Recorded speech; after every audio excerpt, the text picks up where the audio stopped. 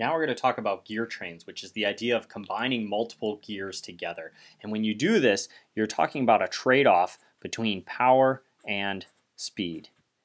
For instance, if we're gearing down, which means connecting an input small gear up to a much larger output gear, using the small gear to drive the large gear, what that results in is actually a decrease in speed, but an increase in sort of the output force of the system, the power. On the opposite side, if we're gearing up, meaning we're taking a large gear as the input, driving that with the motor, and using that large gear connected to a small gear, what this results in is an increase in speed, but a decrease in the force of the system. And so we can demonstrate that here now using an 8 tooth gear, using a 40 tooth gear, and a 20 tooth gear. So what's of interest is how the relationship between the number of teeth helps understand how the system actually works. So if I look at this 40 tooth gear, I'm curious about the circumference of this because that's the part that's going to be interacting with the gear next to it. And I have a piece of string here that I can measure exactly once around this gear. And I'm going to actually lay that out straight so we can visually see the size of this 40 tooth gear. So imagine this is this gear rolling along that piece of paper one time. Similarly, I can look at the size of the 20 tooth. So I have a smaller piece of string that goes around that 20 tooth gear once and laying that out, lo and behold, if I put that next to the 40, it turns out that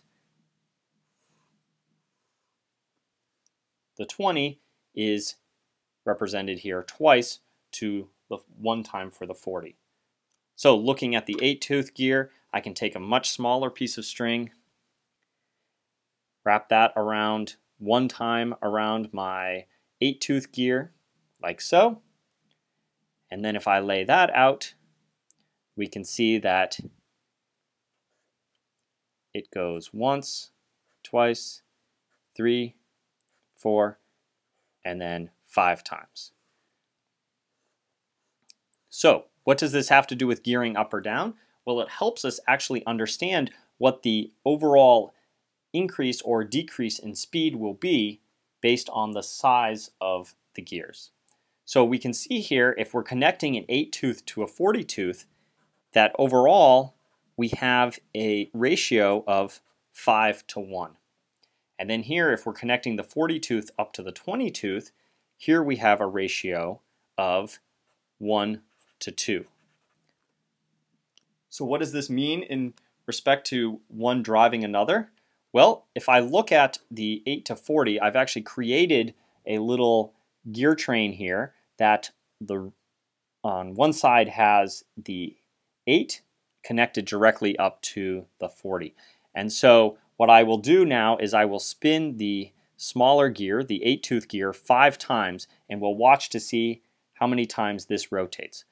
So there's once, twice, three times, four times, and five times. And you can see that as the red went around five times, the blue, representing the 40 tooth gear, went around once, just as we predicted down here with the math, a 5 to 1. You can also see that the speed of the 8 is going much faster than the speed of the 40.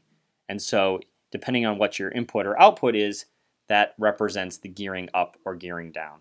Let's double check that the same holds true for the 40 and the 20. So here I've created a 40 and a 20 uh, gear train. So here we can see the input 40 is connected to the output 20. So now I will spin the larger 40 tooth gear one time, the blue, and we'll watch to see how far the white 20 tooth gear turns. So as I turn it halfway and then all the way around, so that's one rotation of the 40, we saw that the 20 went around twice, which makes sense according to our 2 to 1 ratio between those two gears.